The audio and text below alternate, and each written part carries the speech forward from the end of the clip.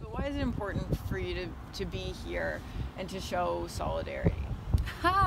because it's our rights again that keep on getting trampled on and stamped on or stomped on. We're being silenced, and now we're not being silenced. We're using our voices and our bodies to say that this has to stop.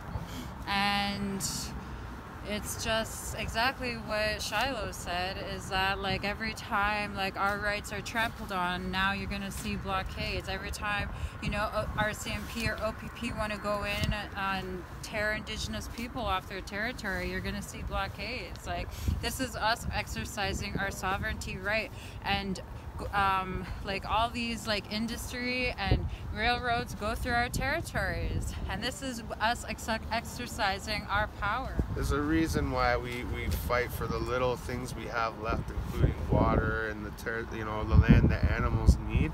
There's a reason that's because like as she's saying we've been economically robbed and have so little left, right? We're, we're, we're, we're clinging by our fingernails to this ledge to survive these days.